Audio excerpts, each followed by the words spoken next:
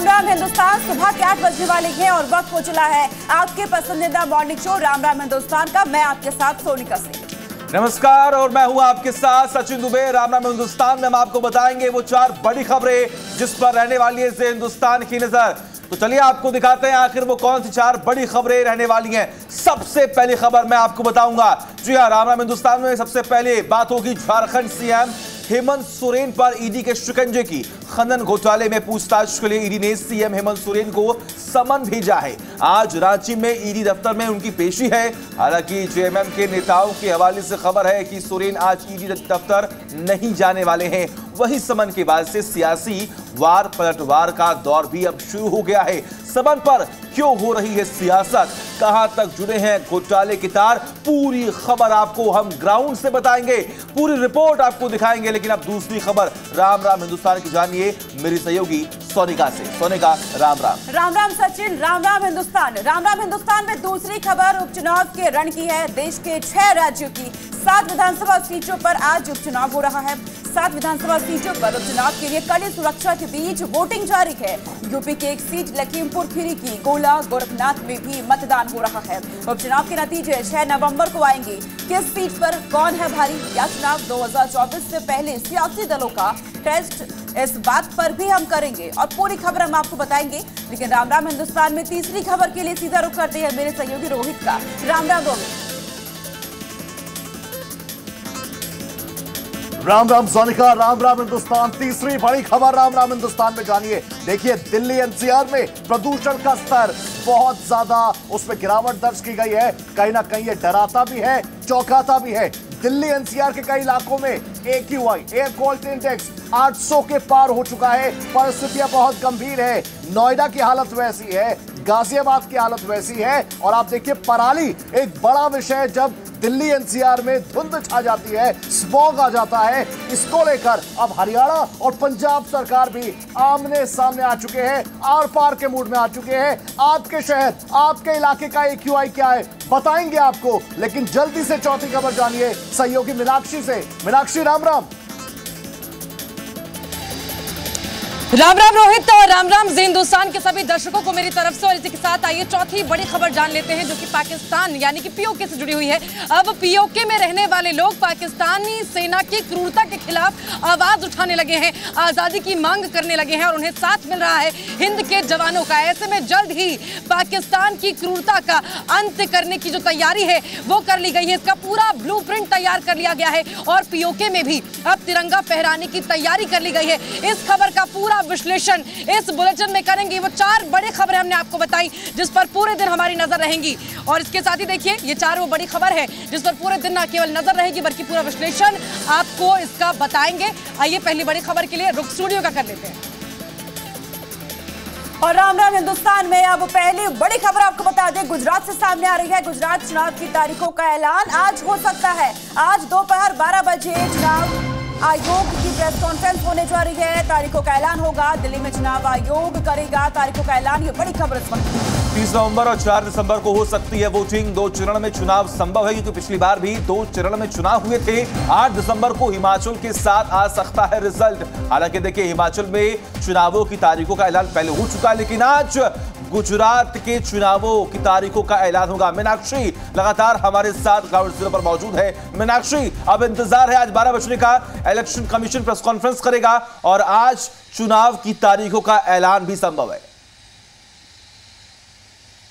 आ, बिल्कुल सचिन देखिए सबसे पहले आपको मैं बताऊँ क्योंकि देखिए कल ये उम्मीद की जा रही थी कि दो तारीख को ही जो चुनाव की तारीखें हैं गुजरात के लिए उसका ऐलान हो जाएगा। लेकिन मोरबी में जिस तरह का दर्दनाक दुखद घटना हुई उसके बाद राजकीय शोक का ऐलान किया गया था और ऐसे में इस तारीख को माना गया कि आगे बढ़ाकर आज चुनाव आयोग की ओर से प्रेस कॉन्फ्रेंस करके चुनाव की तारीखों का ऐलान सचिन कर दिया जाएगा। सभी राजनीतिक दल जो नेता है दिग्गज नेता तमाम राजनीतिक पार्टियों के वो इंतज़ार कर रहे थे क्योंकि तारीखों के ऐलान के साथ ही आचार संहिता लग जाएगी और इसके साथ ही आपको गुजरात में वार पलटवार का दौर भी शुरू होता नज़र आएगा। बड़े बड़े नेता बड़े बड़े चेहरे आपको गुजरात के रण में उतरे नज़र आएँगे, लेकिन सबसे बड़ी बात यह होगी कि इस बार का जो मुकाबला है गुजरात में, वो त्रिकोणीय होगा। पहले देखा गया बीजेपी वर्सेस कांग्रेस, लेकिन इस बार आम आदमी पार्टी ने भी पूरी ताकत गुजरात के रण में अपनी झोंक रखी है, और ऐसे में इस बार जब चुनाव की तारीखों का ऐलान होगा तो आपको न केवल कांग्रेस, न केवल बीजेपी, बल्कि कांग्रेस जो आम आदमी पार्टी है, देखिए शुरुआत से हम देख रहे हैं, किस तरह से वो चुनावी प्रचार भी यहाँ पर कर रही है तो वो भी आपको यहाँ के रण में नज़र आएगी। लोगों से मैं लगातार बातचीत कर रही हूँ और किस तरह से आने वाला बहुत ये आपको मैं भी बता दूँ कि तारीखों का ऐलान किस के आसपास होने वाला है। माना यह जा रहा है कि 30 तारीख को पहले चरण का मतदान हो जाएगा 4 दिसंबर को दूसरे चरण का मतदान और 8 दिसंबर जिस दिन हिमाचल प्रदेश के चुनावों के नतीजे आने हैं उसी दिन गुजरात चुनाव के नतीजे भी आ जाएँगे। हालाँकि पिछले चुनाव की आप बात करेंगे 2017 में जब चुनाव हुए थे तो 18 दिसंबर को जो चुनाव के नतीजे हैं वो आए थे लेकिन इस बार 8 दिसंबर को हालाँकि पिछली बार भी हिमाचल और गुजरात के चुनाव के जो नतीजे हैं वो एक साथ ही आए थे और ऐसे में इस बार भी 8 दिसंबर को दोनों चुनाव के जो नतीजे हैं वो आ जाएँगे। सचिन। बिल्कुल मीनाक्षी और देखिए आप भी लगातार वहाँ पर मौजूद हैं। हितेन हमारे साथ बने हुए हैं गुजरात से। लगातार वहाँ की राजनीति में क्या कुछ चल रहा है उस पर नज़र उनकी बनी हुई है। हितेन अब तारीखों का ऐलान होने जा रहा है। गुजरात में कैसी हलचल अब आप देख रहे हैं? देखिए सभी दल सोनी का यहाँ पर इन तारीखों का इंतज़ार जो है वो लगभग लगभग काफ़ी एक महीने से कर रहे थे, क्योंकि एक महीने पहले ही सारे दलों की तैयारियाँ जो है वो पूरी हो चुकी थी। आम आदमी पार्टी हो या बीजेपी हो, वो अपनी यात्रा एक सौ बयासी सीटों में कंप्लीट कर चुके। कांग्रेस भले मैदान में कहीं दिख नहीं रही हो, लेकिन गाँव-गाँव में कांग्रेस ने डोर टू डोर कैंपेनिंग इतनी मजबूती से की है कि कहीं ना कहीं बीजेपी को उसका खौफ जो है वो सताता है। और इसीलिए प्रधानमंत्री की हर रैली में हमने देखा है कि कांग्रेस का ज़िक्र जो है वो सीधे तौर पर करते नज़र आते हैं। एक जगह उन्होंने सीधे तौर पर कहा कि गाँव गाँव जाकर जो है, आप लोगों को बरगला बरगलाने की कोशिश की जा रही है, लेकिन आपको संभल कर रहना है। तो आप सोच सकते हैं कि कहीं ना कहीं कांग्रेस भी है मैदान में। ऐसा नहीं है कि पूरी तरह से सिर्फ़ आम आदमी पार्टी और बीजेपी ही ऊपर से दिख रही है। ऊपर से कुछ भी दिखे अंदर से कांग्रेस भी पूरी तरह से मज़बूत है गाँवों में मज़बूत है और वो ज़मीन पर दिखता है और कहीं ना कहीं बीजेपी इसीलिए अपनी एक अलग स्ट्रेटेजी के तहत जो वो काम करती नज़र आती है। हालाँकि आज बारह बजते ही आचार संहिता लग जाएगी उसके बाद यहाँ पर जो है एक बड़ी हलचल जो है वो निश्चित तौर पर दिखेगी। तीनों दलों की तरफ़ से एक स्टेटमेंट जो है वो सामने आ जाएगा चुनाव आयोग की प्रेस कॉन्फ्रेंस के बाद कि वो कितनी कितनी तैयार है और उनके उम्मीदवारों का ऐलान कब तक हो सकता है। हालाँकि देखिए अ, अ, कांग्रेस जो है वो अ, आने वाले दो से तीन दिनों के भीतर में कुछ सीटों पर उम्मीदवारों का ऐलान कर देगी। कुछ सीटों पर वो इंतज़ार कर रही है कि बीजेपी किसको उम्मीदवार बना रही है। उसके बाद कांग्रेस के तमाम सभी सीटों पर उम्मीदवारों का ऐलान जो है वो हो जाएगा। आज से बीजेपी के तमाम एक उम्मीदवारों की चयन प्रक्रिया के लिए समन्वय समिति की बैठक जो है वो शुरू हो जाएगी। गृह मंत्री अमित शाह खुद गुजरात में मौजूद है। उनकी अध्यक्षता में ये तीन दिन तक बैठक होगी और एक सौ बयासी उम्मीदवारों का चयन किया जाएगा जिसको छः और सात को स्टेट पार्लियामेंट्री बोर्ड के सामने रखा जाएगा। उसके बाद अ, हो सकता है कि नौ या दस तारीख के आसपास केंद्रीय पार्लियामेंट्री बोर्ड की बैठक दिल्ली में मिले। उसमें वो यहाँ पे जो जिन नामों पर मुहर लगी है उन नामों पर चर्चा जो है वहाँ की जाएगी। प्रधानमंत्री की मुहर लगाई जाएगी और हो सकता है कि धीरे धीरे करके 12 या 13 तारीख के आसपास बीजेपी के भी सभी उम्मीदवारों की यादी जो है वो हमें देखने मिल जाए।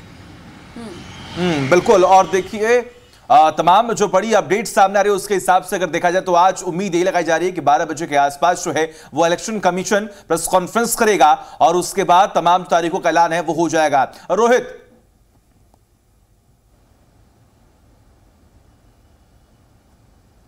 बिल्कुल बिल्कुल, आज इंतज़ार सी बात का है कि गुजरात में तारीखों का ऐलान होगा। इसकी तैयारी बिल्कुल पूरी हो चुकी है। माहौल बहुत पहले सजना जो है, वो शुरू हो गया था और आज सिर्फ़ और सिर्फ़ इंतज़ार इस बात का कि औपचारिक ऐलान, क्या कुछ होता है तारीखों को लेकर। हर एक दल, हर एक राजनीतिक पार्टी इसके लिए पूरी तरीके से तैयार है। चाहे भारतीय जनता पार्टी हो, चाहे चाहे आम आदमी पार्टी हो या फिर कांग्रेस हो, लेकिन देखना होगा कि इस बार की तारीखों में इलेक्शन कमीशन ऑफ़ इंडिया किन किन चीज़ों को लेकर आगे बढ़ रहा है, उनके सामने क्या कुछ परिस्थितियाँ थी, क्योंकि पिछले कुछ वक्त से लगातार इलेक्शन कमीशन ऑफ़ इंडिया की तमाम टीमें जो है, वो गुजरात पहुँची हुई थी और वहाँ पर हर एक चीज़ पर माइन्यूटली उन्होंने काम किया है और अब जो गलतियाँ पिछली बार रही होंगी या जो लूपहोल्स पिछली बार रहे होंगे या व्यवस्थाओं में जो कमी पिछली बार रही होगी उन तमाम चीज़ों को एड्रेस करने के बाद इलेक्शन कमीशन ऑफ़ इंडिया के सामने अब बड़ी चुनौती लेकिन इंतज़ार हर किसी का कि आखिर कब वो तारीखें सामने आएँगी। अब तक प्रधानमंत्री नरेंद्र मोदी भी वहीं थे अरविंद केजरीवाल भगवंत मान कांग्रेस के तमाम रोहित और सभी देखिए सभी पार्टियाँ गुजरात में अपनी ज़मीन तलाशने की पूरी कोशिश कर रही है। देखना होगा हालाँकि क्या कुछ होना है लेकिन इस बीच एक और बड़ी खबर है वो बता देते हैं छह राज्यों की सात विधानसभा सीटों पर उपचुनाव हो रहे हैं। सात विधानसभा सीटों पर वोटिंग जारी है। यूपी की गोला गोरखनाथ सीट पर भी वोटिंग हो रही है। और देखिए, उपचुनाव के 6 नवंबर को आएँगे। नतीजे, रिज़ल्ट आएगा 6 नवंबर को। इन सीटों पर उपचुनाव हो रहा है। आपको बता दें, आदमपुर, हरियाणा, मोकामा, बिहार, गोपालगंज, बिहार, मुन्नू, गोड़े, तेलंगाना, गोला, गोकर्णनाथ, उत्तर प्रदेश में, दामनगर, उड़ीसा, अंधेरी ईस्ट, महाराष्ट्र। तो ये वो सात विधानसभा सीटें हैं जहाँ पर उपचुनाव हो रहा है। फ़िलहाल आपको जानकारी दें कि मतदान की जो प्रक्रिया है, वो शुरू हो चुकी है। तमाम जो तस्वीरें इन छह राज्यों की सात विधानसभा सीटों से आ रही हैं, वो लगातार हम आपको दिखा रहे हैं।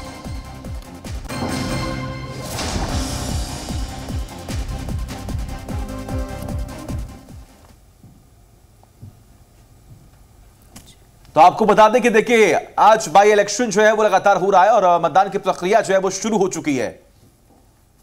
गिरी जी हैं दर्शन करके मंदिर से आए सर क्या मांगा भोले बाबा से? जहाँ मा जहाँ माना जाता है कि जो भी मांगते हैं उनकी मांग मन्नत पूरी होती है। भोले बाबा के चरणों में मैंने यही मांगा है कि पिताजी का नाम और ऊँचा कर सकूँ, बनाए रखूँ, उनके संस्कारों को उनकी सोच को आगे बढ़ा सकूँ और विजय की प्राप्ति एक ऐसा छड़ाया जाए जब आपके प्रतिद्वंदी भी आपके साथ उसी मंदिर में ईश्वर से वो भी कामना कुछ कर रहे थे। क्या लगता है इस तरीके की जब तस्वीर निकल गई देखिए, ऐसी बात नहीं है।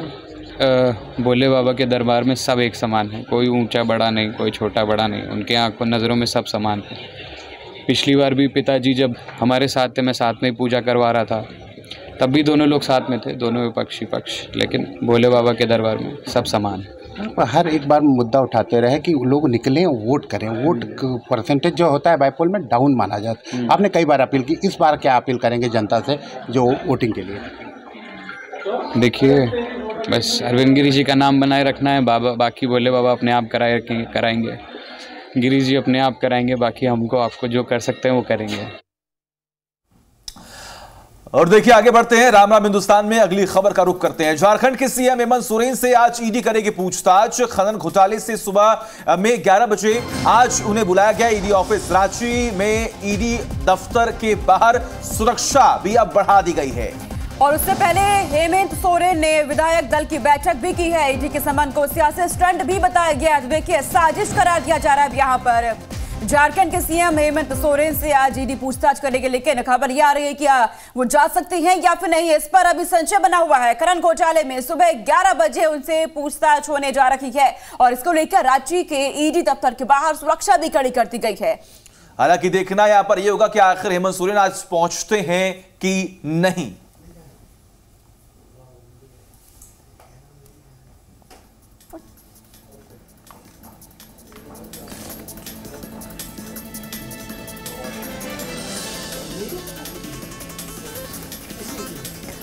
हमारे संवाददाता आशीष हमारे साथ जुड़ चुके हैं और अधिक अपडेट के साथ आशीष, जानकारी दीजिएगा कि हालाँकि आज 11 बजे ईडी उनसे पूछताछ करने जा रही है, लेकिन खबर मिल रही है कि वो जा सकती है या फिर नहीं। इसको लेकर अभी भी कुछ सही तरीके से कंफर्म नहीं हो पाया है। जी, बता दूँ कि झारखंड में ईडी अपना लगातार दबिश बनाए हुआ और इसी बीच कल झारखंड के मुख्यमंत्री हेमंत सोरेन को ईडी द्वारा एक समन भेजा गया था, जहाँ इस समन में आज साढ़े ग्यारह बजे ईडी कार्यालय पहुंचकर उनसे पूछताछ की जा रही थी। हालाँकि जैसे ही समन मिला, उसके बाद झारखंड के मुख्यमंत्री हेमंत सोरेन ने कल देर रात अपने आवास पर विधायक दल की बैठक बुलाई और कहीं ना कहीं जिस तरह उनका आरोप था कि विपक्ष द्वारा ये पूरी तरह से साजिश किया जा रहा है, सरकार की छवि खराब करने का साथ ही साथ सरकार को अस्थिर करने का। हालाँकि मुख्यमंत्री हेमंत सोरेन ने अपने 15 तारीख तक पूरा शेड्यूल जो है वो बिज़ी रखा है तो साफ़ तौर पर उन्होंने एक संकेत दिया है कि वो आज पूछताछ के लिए ईडी कार्यालय नहीं जाएँगे। वहीं समन भेजने के बाद ईडी कार्यालय द्वारा मुख्यालय डीजीपी के पास एक पत्र लिखा गया था जिसके बाद इस पत्र में लिखा गया था कि ईडी कार्यालय की सुरक्षा बढ़ाई जाए। हालाँकि जैसे ही मुख्यमंत्री हेमंत सोरेन को समन भेजा गया है तो आज झारखंड मुक्ति मोर्चा के 24 ज़िले से कार्यकर्ता हो या नेता वो एकजुट हो रहे हैं मोराबादी मैदान में। और जिस तरह ये मामले को लेकर विपक्ष भारतीय जनता पार्टी पर आरोप लग रहा है उसको लेकर वो उग्र आंदोलन की भी संभावना जताई जा रही है जिसको लेकर बिल्कुल आशीष और देखिए जमकर विरोध भी हो कार्यालय रहा है खबर ये भी सामने आ रही है कि जेएमएम के जितने भी तमाम कार्यकर्ता है वो सब विरोध करने में लगे हुए हैं। जी ये आपने सही कहा क्योंकि जिस तरह इस तरह के मुख्यमंत्री हेमंत सोरेन को जैसा कि आरोप लग रहा है झारखंड मुक्ति मोर्चा रहेगा कि एक आदिवासी मुख्यमंत्री को परेशान किया जा रहा है लगातार सरकार को अस्थिर करने का जो ये आरोप है वो भारतीय जनता पार्टी पर लग रहा है। इसी को लेकर अब झारखंड मुक्ति मोर्चा की ओर से सभी चौबीस ज़िले के कार्यकर्ता और नेता जो है वो मोराबादी मैदान में एकजुट हो रहे हैं और संभावना जताई जा रही है कि उनका उग्र आंदोलन जो है वो ईडी कार्यालय या भारतीय जनता पार्टी के प्रदेश कार्यालय में होगा, जिसको लेकर सुरक्षा जो है वो पूरी तरह से बढ़ा दी गई है।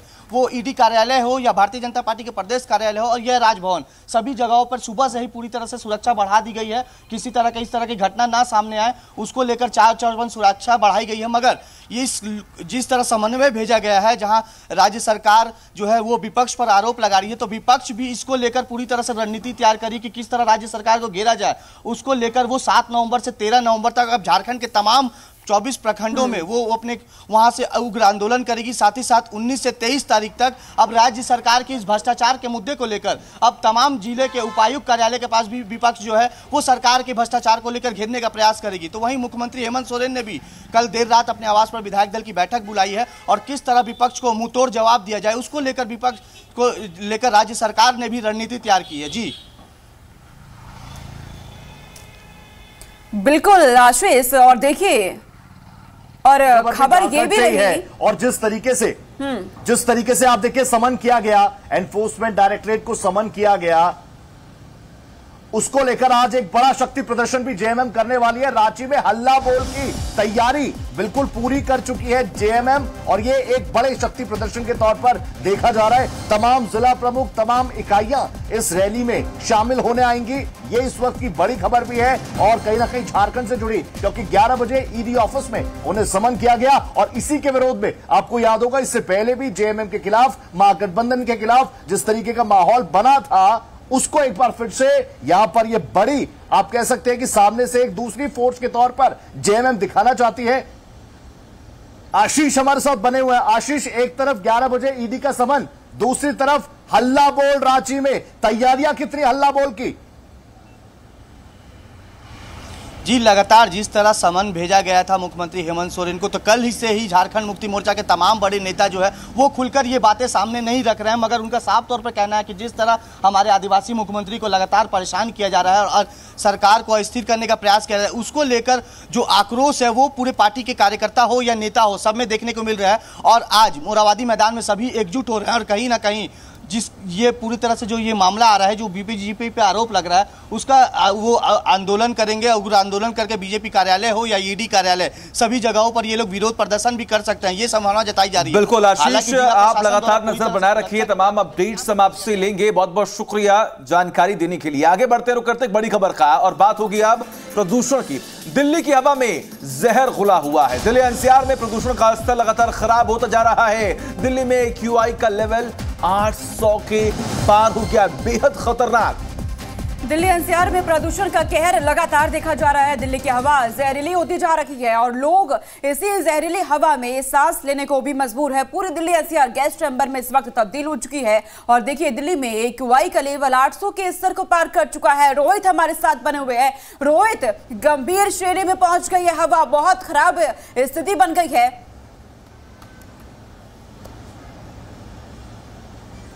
ये हम दिल्ली वासियों की नियति भी बन चुकी है एनसीआर वासियों की नियति भी बन चुकी है, क्योंकि दिवाली के बाद हर साल की परिस्थिति यही है। इस वक्त अगर दिल्ली की बात की जाए तो चाहे आईटी हो, आनंद विहार हो, जहांगीरपुरी हो, नरेला हो, ये वो इलाके हैं जो हमेशा से प्रदूषित रहे हैं। लेकिन हम नोएडा में हैं और तस्वीरें हम दिखाएँगे कि आखिर किस तरीके से स्मॉग की चादर पूरे नोएडा में इस वक्त फैली हुई है। यहाँ से जब हम देखते थे पहले तो हमें काफ़ी दूर तक नज़र आया करता था, लेकिन अब थोड़ी सी दूरी पर जो बिल्डिंग्स हैं, जो रोड्स हैं, वो अभी तक बिल्कुल उनकी विजिबिलिटी आप देख सकते हैं सीधी तस्वीरों के ज़रिए। नोएडा वो शहर जो कि देश के टॉप टेन शहरों में सबसे प्रदूषित में दूसरे स्थान पर था दिवाली के बाद से। हालाँकि नोएडा डेवलपमेंट अथॉरिटी तमाम चीज़ों को लेकर अपनी बात कर रही है। इस माहौल को आप देखिए और समझिए कि कितनी परेशानी उन लोगों को होगी जिनको दमा होगा, अस्थमा होगा और जिन्हें नहीं भी होगा, क्योंकि मैं खुद यहाँ पर खड़ा हुआ। आप यहाँ पर अगर लंबी सांस लेंगे तो आपको खांसी का एहसास होगा, क्योंकि यहाँ पर माइक्रो माइक्रो माइक्रो साइज़ के कण कहीं ना कहीं पॉल्यूशन के इस हवा में मिले हुए नज़र आ रहे हैं। इसमें सल्फ़र का सल्फ़र का लेवल काफ़ी ज़्यादा है, नाइट्रॉक्स का लेवल काफ़ी ज़्यादा है। हालाँकि नोएडा अथॉरिटी हर बार यह दावे कर रही है कि अलग अलग जगहों पर हम स्प्रिंकलर छिड़का रहे हैं एंटी स्मोक गन्स बिल्कुल रोहित और देखिए हर बार की तस्वीर है। हर साल की तस्वीर है दिवाली जैसे खत्म होती है उसके बाद ऐसी तस्वीरें जो है वो सामने आती हैं। हालाँकि देखिए इस पर सियासत भी लगातार हो रही है आरोप प्रत्यारोप का भी सिलसिला अब शुरू हो चुका है। लेकिन अब चुनौती यही है कि आखिर अब सरकार ऐसा कौन सा कदम उठाए कि ये जो प्रदूषण की समस्या है इसका निजात हो इसकी इस, इस, इस समस्या का समाधान हो।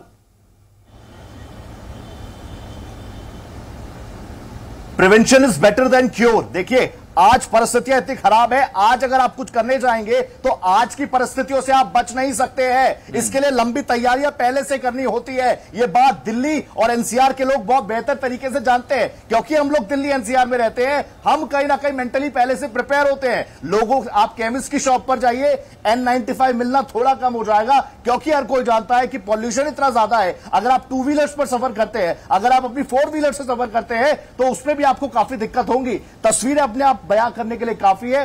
दिल्ली एनसीआर में लगातार बात कही जाती है स्मोक टावर्स की, लेकिन परिस्थितियाँ बद से बदतर लगातार हो रही है। जानकारी ये है और सबसे बड़ी बात भी यही है कि आपकी सुरक्षा अपने आपके अपने हाथों में है।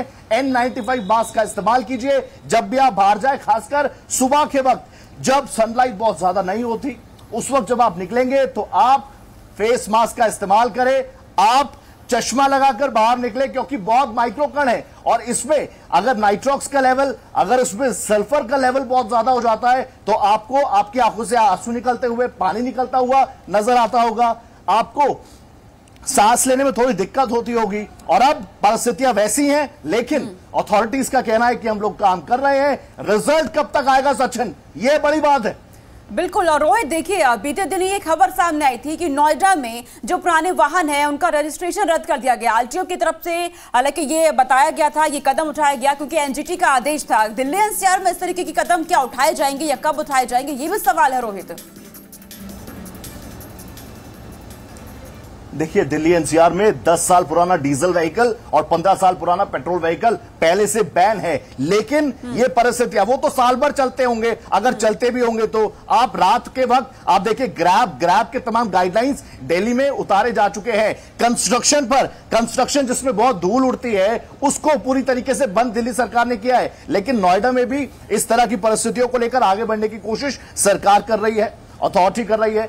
नोएडा की बात की जाए तो 393 393 और पीएम है 2.5 जो कि बहुत गंभीर सीवियर बीमार कर सकता है लोगों को। दिल्ली में कई इलाके ऐसे हैं। चौकिएगा मत, थोड़ा सा डरिएगा, थोड़ा सा, लेकिन पैनिक होने की ज़रूरत नहीं है। 800 800 एयर क्वालिटी इंडेक्स अगर 800 होगा तो आप समझिए कितनी परेशानी होगी उन लोगों के लिए। हालाँकि सियासतदान लगातार इस मुद्दे पर हर साल सियासत करते हैं बिल्कुल लेकिन ये बिल्कुल रोहित? पैनिक नहीं होना है डरना नहीं है लोगों को अपना ध्यान आपको रखना है जब आप घरों से बाहर निकलेंगे तो मास्क का इस्तेमाल करें क्योंकि आपके स्वास्थ्य पर बुरा असर पड़ सकता है। रोहित बहुत शुक्रिया तमाम जानकारी हम तक साझा करने के लिए। आगे रुक करते हुए बड़ी खबर सामने आ रही है। पीओके पर प्रहार को तैयार है इंडियन आर्मी चिनार कॉर्प्स के कमांडर का बड़ा खुलासा ये हुआ है।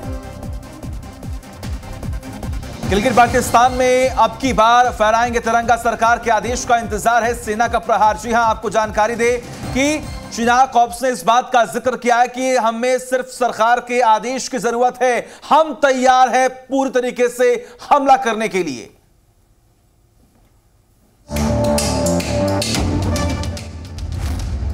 सेना तैयार, इस बार पीओ के पार। ऑर्डर का इंतज़ार, पाक पर प्रहार। तैयार है प्लान, पीओके से भागेगा पाकिस्तान।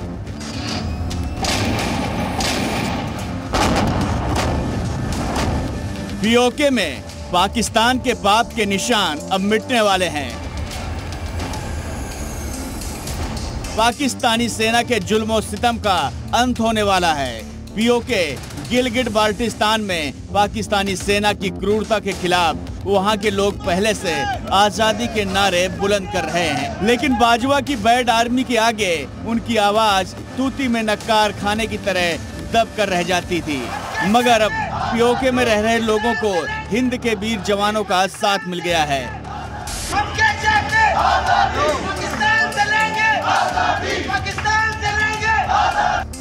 भारतीय सेना ने पीओके में तिरंगा फहराकर पाकिस्तान के अत्याचारों का हमेशा हमेशा के लिए अंत करने का ब्लूप्रिंट तैयार कर लिया है। चिनार कॉर्प्स के commander, lieutenant general ADS Aujla ने कहा कि भारतीय सेना पूरी तरह से तैयार है। जिस दिन सरकार का आदेश मिलेगा, पीओके और गिलगिट बाल्टिस्तान से पाकिस्तान की सेना को मार भगाया जाएगा। रेडीनेस और डिफेंस प्रिपेयर्डनेस आज जो है एक बहुत ही अच्छे लेवल के ऊपर है। और अगर कभी कोई कारण या कोई ऐसा मौका मिलता है जहाँ पर हमारे को इसको अजमाने का अ, आजमाने की ज़रूरत पड़े तो आप एक अलग जो है प्रभाव जो है इसका देखेंगे। सेना ने ठाना पीओके में तिरंगा फहराना। सेना के शौर्य दिवस में श्रीनगर आए रक्षा मंत्री राजनाथ सिंह ने हुंकार भरते हुए याद दिलाया था कि भारत ने उत्तर की ओर चलना शुरू कर दिया है। लेकिन ये यात्रा तब पूरी होगी जब 22 फरवरी उन्नीस सौ चौरानवे को संसद में सर्वसम्मति से पारित प्रस्ताव पर भारत अमल करेगा। उन्होंने कहा कि सही मायने में अमल उस दिन होगा जब गिलगिट बाल्टिस्तान पहुंचकर भारतीय सेना वहाँ तिरंगा फहराएगी। और चलिए इसी के साथ यहाँ वक्त हो गया एक छोटे से ब्रेक का। Música